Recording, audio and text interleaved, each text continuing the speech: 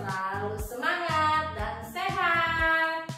Kita sudah dengar firman Tuhan hari ini mengenai Yunus. Kita harus taat kepada perintah Tuhan karena itu yang terbaik buat kita. Yuk kita buat aktivitasnya. Perhatikan Kak Diana ya.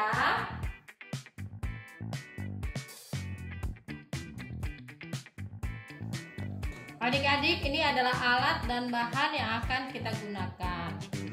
Kita akan menggambar Yunus dan ikan besar. Pertama-tama kita gambar ikan besarnya ya adik-adik.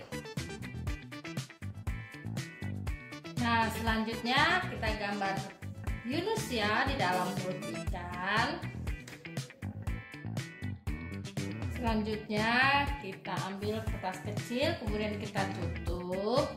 Lalu kita tempelkan di sini ya adik-adik ya. Oke, sudah jadi aktivitas kita adik-adik. Yang perlu kita pelajari dari Yunus adalah kita harus jadi murid yang taat ya adik-adik supaya hidup kita tidak mengalami kesusahan.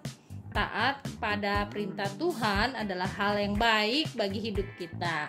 Selamat beraktivitas. Tuhan Yesus memberkati. Happy Sunday.